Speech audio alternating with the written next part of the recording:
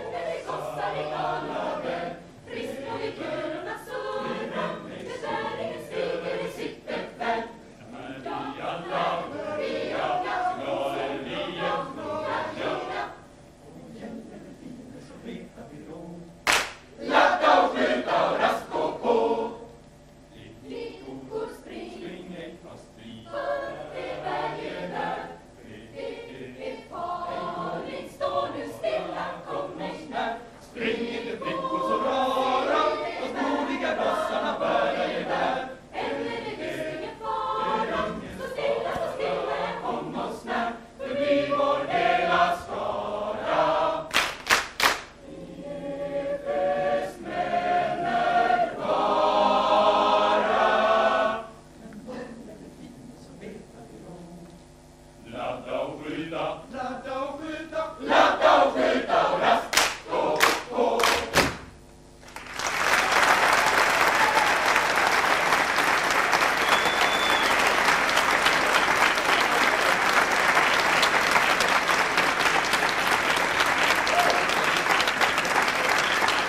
mm -hmm. you.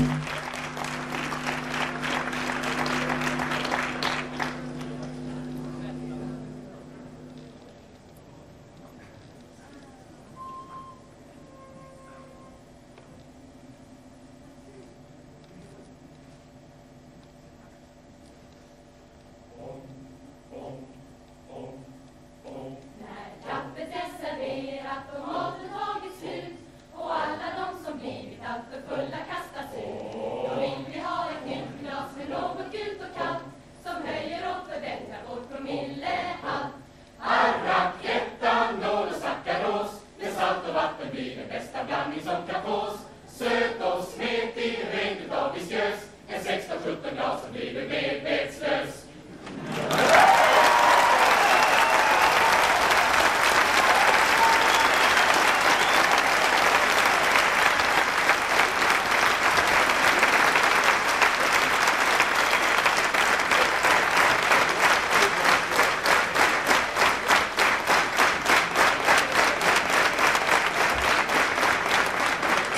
Lektionen alltså till ett spektra av vackra röster och eh, vackert att titta på också kanske. Nåväl!